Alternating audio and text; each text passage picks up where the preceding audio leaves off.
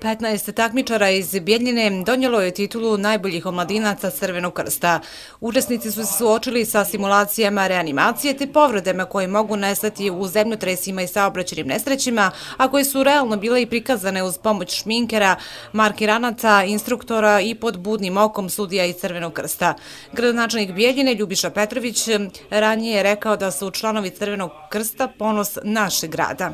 Ono što njihov uspjeh čidi još većim e, jeste e, sami otežani uslovi o kojima oni e, funkcionišu, počevši od samih prostorija i opreme za uvježbavanje, odnosno za pružanje prve pomoći, tako da smo i danas iskoristili ovu priliku na ovom današnjem e, prijemu da razgovaramo e, da se gradska organizacija Crvenog krsta e, dogovor je da se obrate jednim zahtjevom ka gradskoj upravi upravi za nabavku e, opreme za pružanje prve pomoći i mi ćemo naravno rado podržati e, takvu jednu aktivnost kako bi u poboljšanim uslovima i naravno sa materijalno-tehničkim e, sredstvima što bolje se pripremili za državno prvenstvo koji ih očekuje na jesen. Sekretar Crvenog krsta Bijeljene Perica Gligić je ponosan na svoje volontere i uspjeh koji su postigli.